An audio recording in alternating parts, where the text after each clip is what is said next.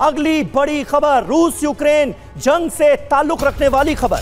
Ukraine को युद्ध के लिए एफ़ सिक्सटीन देगा अमेरिका। इसी साल यूक्रेन को मिलेंगे एफ़ सिक्सटीन और ट्रेन पायलट्स अमेरिकी रक्षा मंत्री लॉयड ऑस्टिन ने यह ऐलान कर दिया है।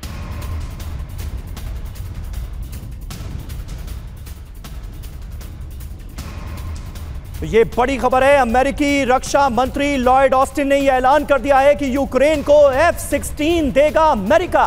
हम और आप ये अंदाज़ा लगा सकते हैं कि अगर ऐसा हुआ तो इसका अंजाम किस कदर विनाशकारी होगा? रूस यूक्रेन जंग के मद्देनजर अमेरिका ने कई वॉर फ्रंट खोल रखे हैं, ऐसा साफ़ नज़र आता है। एक तरफ़ लगातार अमेरिका यूक्रेन की मदद कर रहा है और दूसरी तरफ़ ईरान इसराइल के बीच जिस तरह से टेंशन बढ़ रहा है, उसमें वो इसराइल के साथ नज़र आ रहा है।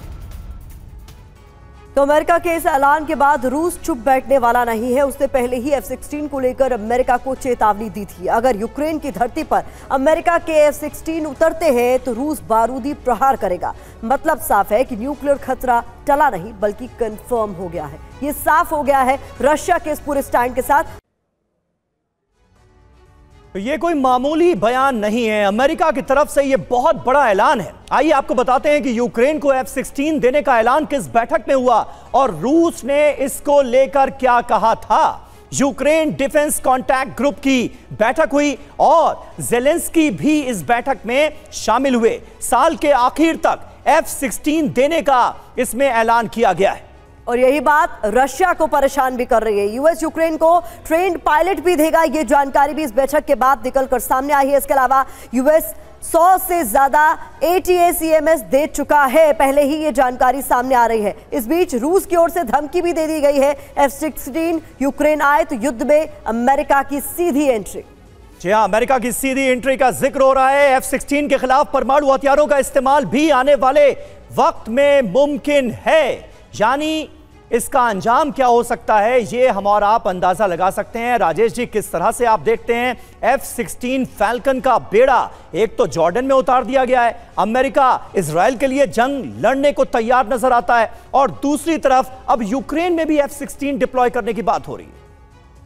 देखिए यूक्रेन में एफ़ सिक्सटीन की जो बातचीत चल रही है कई कई महीनों से चल रही है। और यूक्रेनियन पायलट्स जो हैं वो अमेरिका में गए हुए हैं ट्रेनिंग लेने के लिए तो ये यूएस के जो पायलट्स हैं वो नहीं आएँगे।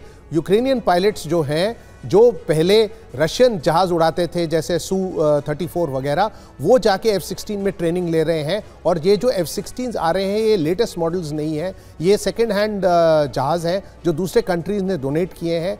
इनकी जो क्षमता है वो नॉर्मल जो लेटेस्ट एफ़ सिक्सटीन है उससे थोड़ी सी कम है।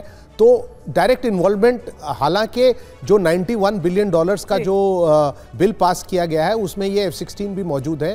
तो ये डायरेक्ट इन्वॉल्वमेंट नहीं है पर इनडायरेक्ट इन्वॉल्वमेंट ज़रूर है यूएस का। और, और यूएस का इनडायरेक्ट इन्वॉल्वमेंट सर सिर्फ़ एक ही जगह पर नहीं है जिसका ज़िक्र हम कर रहे थे। इस बीच एक बड़ी खबर आ रही है अमेरिका को रूस की एटवी धमकी को लेकर। निशाने पर अमेरिकी परमाणु हथियार है ये जानकारी हमें मिल रही है। रूसी उप विदेश मंत्री सरगई रयाबकोव का बयान सामने आया है। पोलैंड में तैनात अमेरिकी हथियार पर हमला करेंगे। तो ये बड़ी खबर है निशाने पर अमेरिकी परमाणु हथियार। ये जानकारी निकलकर सामने आ रही है। अमेरिका को दरअसल रूस की ओर से ये बड़ी धमकी दी गई है और ये धमकी किसी और ने नहीं, बल्कि रूसी उप विदेश मंत्री सरगई रायपकोव के बयान से निकलकर सामने आ रही है, जहाँ पोलैंड में तैनात अमेरिकी हथियारों पर हमला करने की बात कही गई है।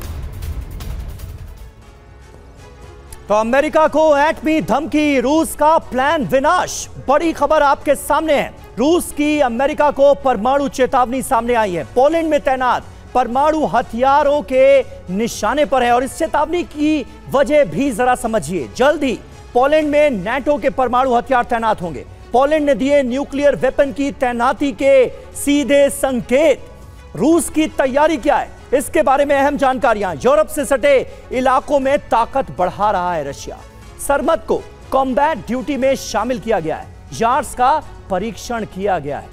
तो ये कुल मिलाकर जो अहम खबरें हैं, वो बता रही हैं कि पूरी दुनिया में टेंशन किस कदर बढ़ता हुआ नज़र आ रहा है।